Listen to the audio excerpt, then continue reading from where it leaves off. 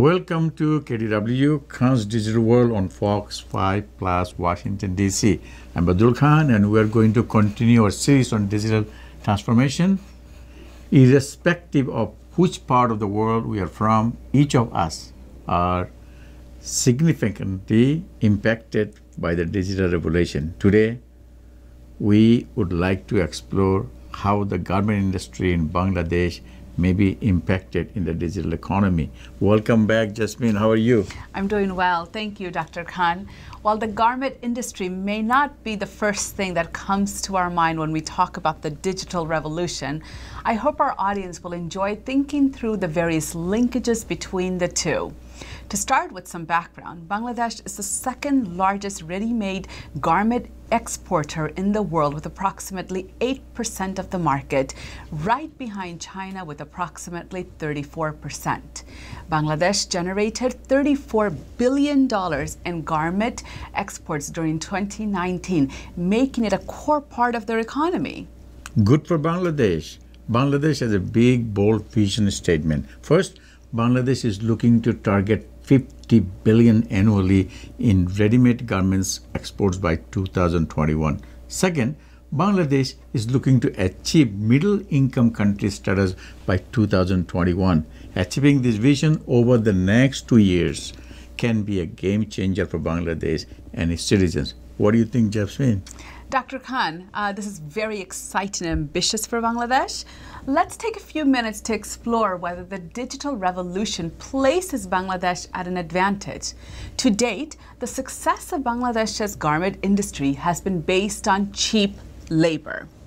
Also, the majority of the workers in the garment industry are women, and many of them are unable to read. While the industry has been highly successful to this point, it is also facing few crucial issues that must be addressed to meet Bangladesh's vision. First, average work days for the majority of the garment workers are 12 to 14 hours for exceeding legal limits. Despite the long work days, a recent study highlighted that 60% of the workers are not able to meet their production targets.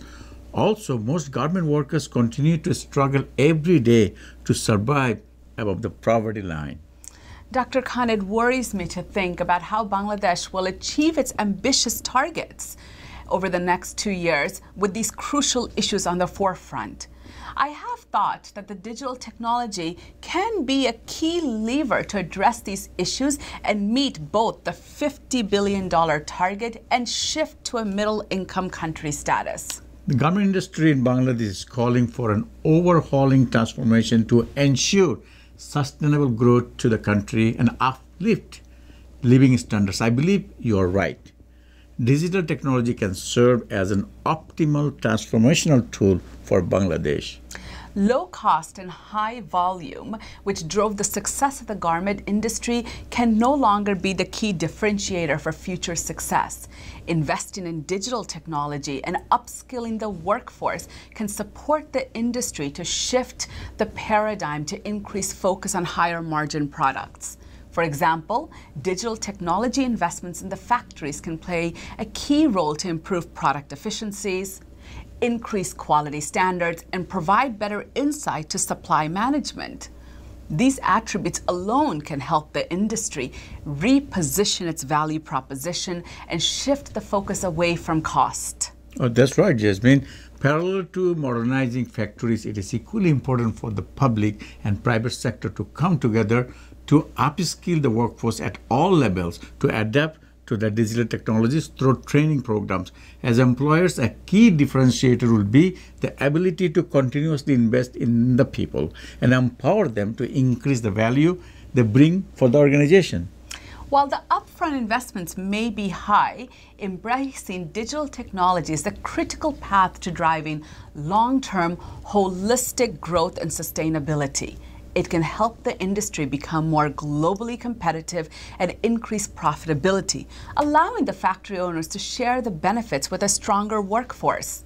While China and Bangladesh collectively have approximately 42% of the ready made garment export market, there is over 50% of the market to go after.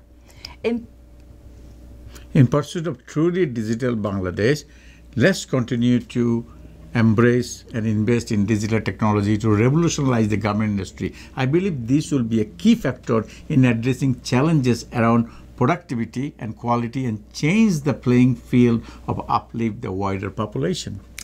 Well, we hope you enjoyed today's discussion. This brings today's show to a close. Thanks again for watching GTV's KDW Fox 5 Plus show. See you again for another exciting episode.